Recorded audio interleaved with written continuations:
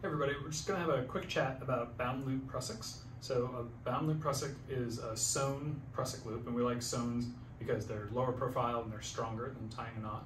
Um, and the bound loop refers to the fact that there's this piece of heat shrink tubing that covers the stitching, but it also grabs the other part of the loop. So you get something that looks like this.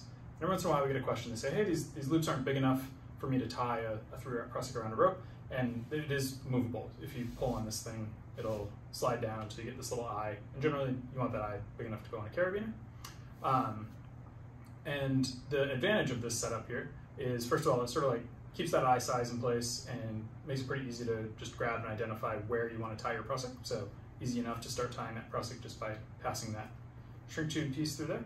Um, the other thing it'll do is if you're using the prusik minding pulley like this, then having that little piece of heat shrink tubing on there kind of helps push that prusik down so that as it loads and then as you pull on it, it sort of helps keep that prusik in the correct orientation so it doesn't ride up over the side plates on that pulley.